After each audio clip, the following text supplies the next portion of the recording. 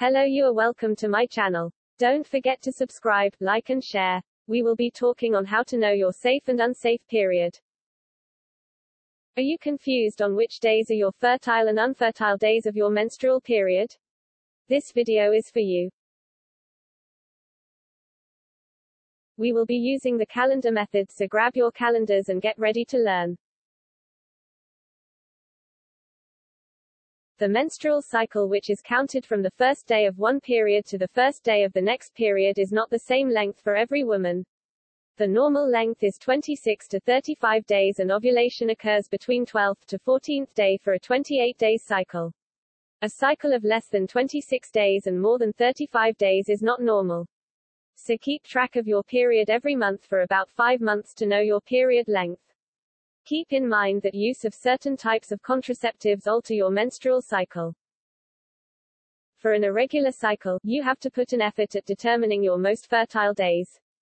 Firstly, track the time you usually have ovulation symptoms for a number of months to know when you usually ovulate.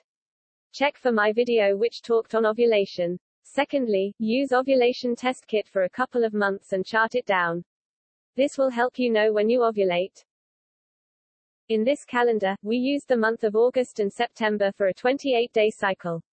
From this video, menses began on the 4th of August which is counted as day 1 of your menstrual cycle and 5th of August as day 2 of menstrual cycle up to the 31st which is the 28th day of your menstrual cycle.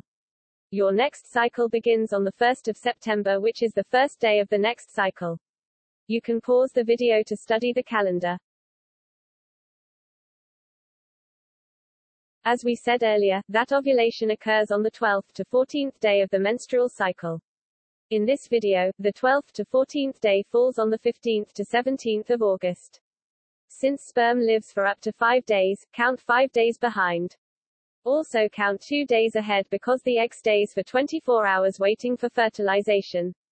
The days put in squares are fertile or unsafe days. The rest of the days are infertile or safe days.